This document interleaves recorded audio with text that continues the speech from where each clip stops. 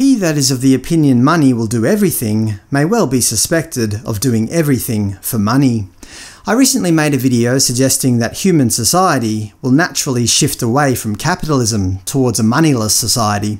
In a world of post-scarcity, the concept of money will eventually become redundant. Of course, many proponents of capitalism replied to my video, essentially saying that it will never happen. It's human nature. Money's been around for tens of thousands of years. Everything costs something. There's no such thing as a free lunch and so on. But I have one simple rebuttal to this. Does a deer pay for lunch? If not, why not? Obviously, the first part of this question is rhetorical. Of course, a deer, or any animal, doesn't pay for lunch. Perhaps one could argue that some working animals are paying for their food. For example, an elephant in Cambodia that is used to carry cashed-up tourists around only gets food after it's done its duty. But I think we could all agree that this is not a voluntary relationship. Obviously, a wild elephant doesn't want a human sitting on its back. It's only due to threat of punishment that the elephant puts up with it.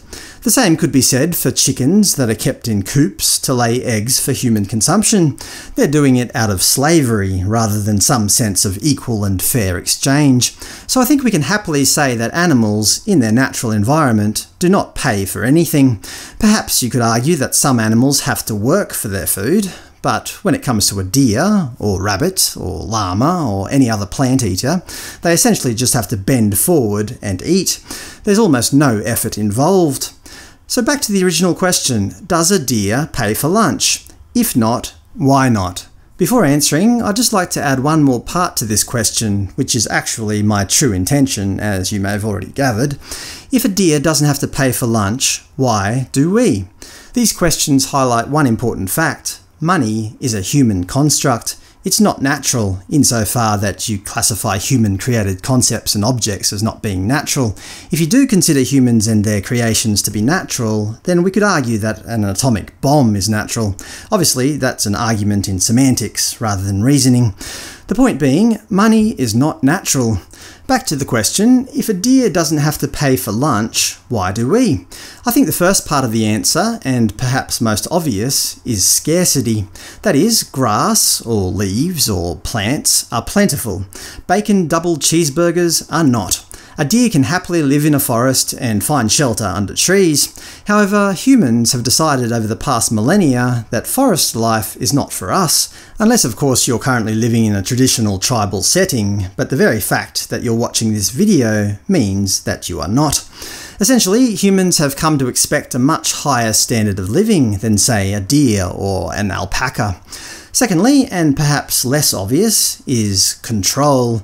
If I have money and you don't, I can make you do stuff for me.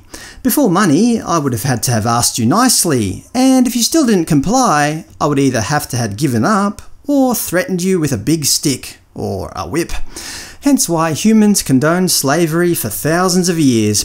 People wanted to control other people. Those people didn't want to be controlled, so we hit them. In our modern capitalist society, we've essentially replaced whips and chains with wages and contracts. As I mentioned in one of my previous comments, I much prefer living in a monetary society than one that relies on whips and chains to make me do things. But let's not forget that these two things can be equally coercive. If you don't build my pyramid, I will whip you. If you don't pay your taxes, I'll put you in jail. Some of you might be saying that that last one has nothing to do with capitalism, but rather state control. Okay, I'll play ball. Here's a capitalist one for you. Excuse me, sir, I don't have any money to pay for your food. Piss off, you peasant. Would this situation ever happen with a deer? Excuse me, this is my grass. Don't touch it. Perhaps there are territorial disputes, I'm no deer expert, but let's face it, there's grass everywhere. If I don't eat here, I can eat over there.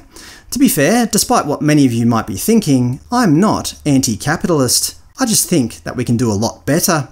Just as a deer can freely graze on grass, there will be a time in human history when hamburgers and houses are no longer scarce. Once automation is in full swing, and physical labour has essentially become extinct, there will be no need for money. It's certainly not impossible. You know why? Because the deer are already doing it. They've got no need for money, and there's billions of other animals on this planet doing the same thing. If you still don't agree with me, then I guess you think that humans are not willing to change, or that we are less intelligent than deer. You don't really think that we're less intelligent than deer, do you? Enough said.